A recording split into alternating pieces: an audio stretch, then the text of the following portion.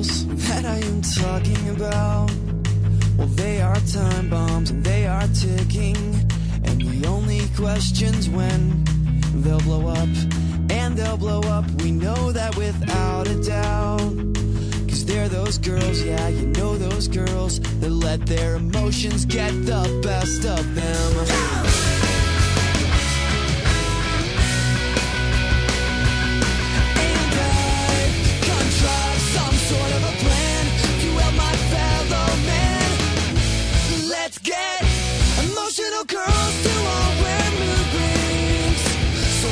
Tipped off to when they're ticked off. Cause we'll know just what they're thinking. Just what they're thinking. She's so pretty, but she doesn't always act that way. The moves are swinging on the swing set almost every day. She said to me that she's so happy it's depressing.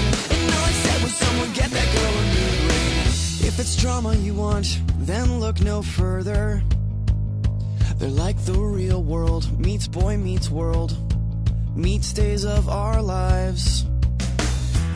And it just kills me how they get away with murder. They'll anger you, then bat their eyes. Those pretty eyes that watch you sympathize.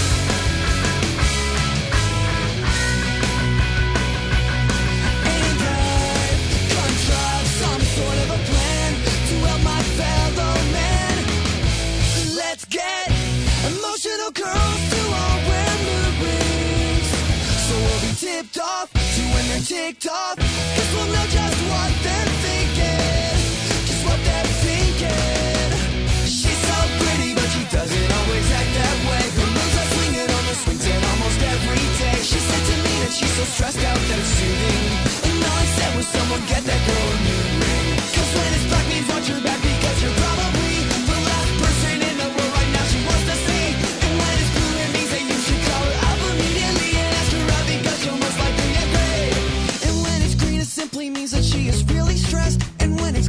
means she's completely emotionless. And that's alright, I must confess.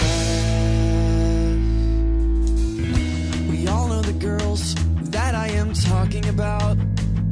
She liked you Wednesday, but now it's Friday, and she has to wash her hair. And it just figures that we'll never figure them out. Well, first she's Jekyll, and then she's Hyde. At least she makes a lovely pair.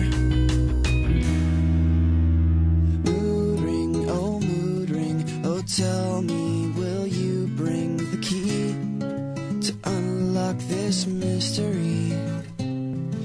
of girls and their emotions. Play it back in slow motion so I may understand the complex infrastructure known as the female mind.